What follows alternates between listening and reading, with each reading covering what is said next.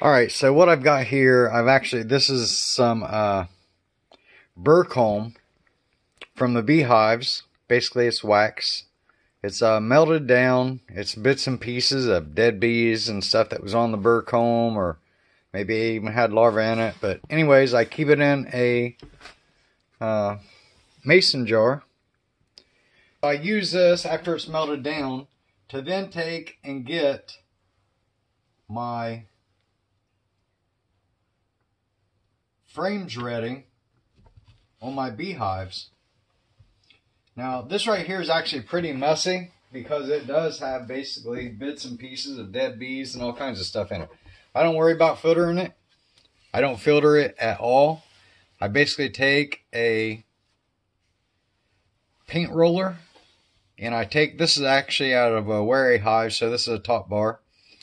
And these already had, was on a hive, but they basically chewed all the wax off of it and then left it and didn't build anything out on it. So I got a whole bunch of these frames I want to do. I put just a little bit of wax on the roller. And it doesn't take much. And then I just roll it on this bar right here. Just put a little bit of wax on there. It gets the bee scent on it.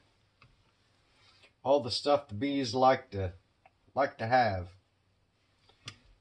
This uh, wax isn't really hot enough to be doing this.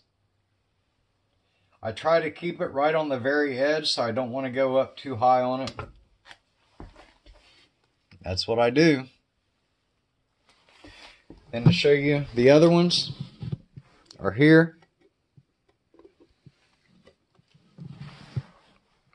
And this is basically just enough wax to do this one top box. So I don't I don't spend a whole lot of time like trying to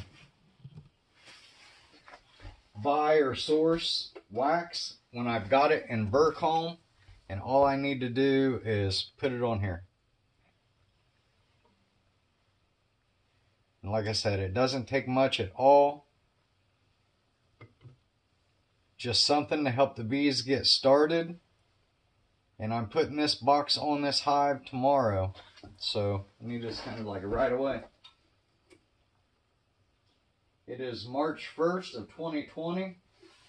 It's 60 degrees out today and the bees are bringing in pollen like crazy. Now you might be wondering what kind of pollen are they finding in March? And the answer to that is in Kentucky, it's almost always maple.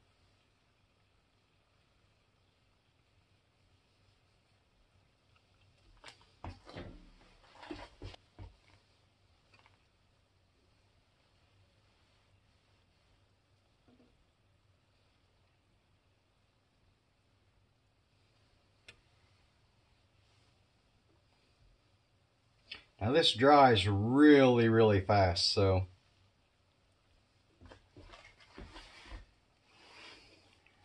you can see it's just a really, really thin coating. Probably ain't gonna show up on the camera.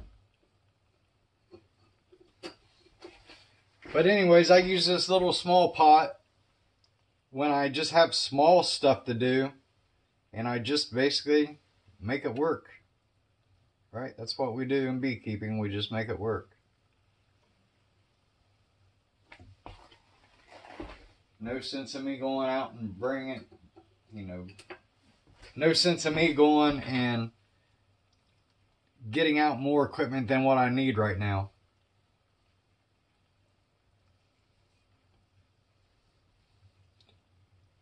And if there's any any bits and pieces of other bees on there, they'll they'll clean it right up.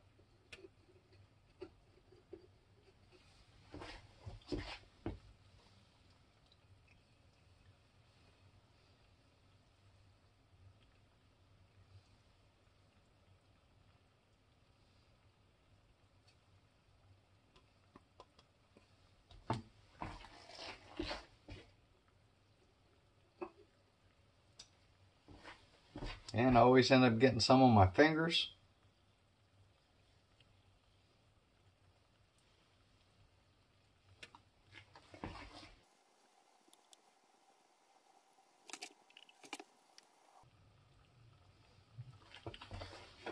And I'm done. Leave wax sitting on a stove, by the way. Wax is extremely flammable, and I forgot to go over that. I had this literally on the lowest setting possible. Low. Not even on anything, just like the literally lowest it would go. So, uh, spilled a little bit on there. There we go. Again, that is just burr comb that's got bits and parts of bees in it, but it has a bee smell, and I think that it's way better than like store bought wax, beeswax. If you can get burr comb or something like that from another beekeeper, it works way better. So, hope you enjoyed this. Thanks for watching. God bless you. God bless your families. God bless your homesteads. Just had to add another box to the bottom of the warre hive. I had put wax on it yesterday evening and brought it out today got the, it situated. These bees are doing fine. They're bringing in pollen already. It's March 2nd. This is the second day in a row of 60 degree weather. And uh, let me do a slow motion video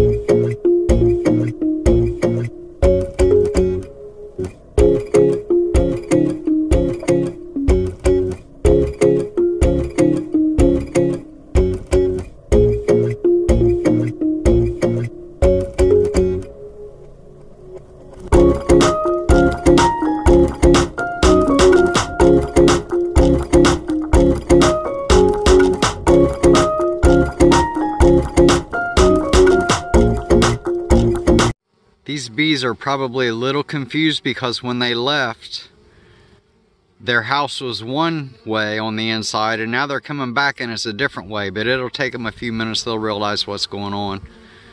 So uh, I've seen several of them come in with pollen, like they go in the opening, then they come back out and they almost start to fly away, but then they turn around and go back in. And that's what it is, they're confused because the inside of their house has changed. But uh, this box that I put in doesn't have drawn out comb on it yet. So the bottom box doesn't have drawn out comb. The middle box is clear full of comb and the top box still has um, sugar syrup in it. So that'll get them off to a good start this year. And uh, warre hives build up a little slower than Langstroth hives, or at least in my experience, that's the way it is. And even though this was an early swarm capture of last year, they had only drawn comb out in one of the boxes. So hopefully the second box gives them some room and uh, they have a really good honey production year and we'll just have to wait and see. Anyways, thanks for watching. God bless you. God bless your families. God bless your homesteads.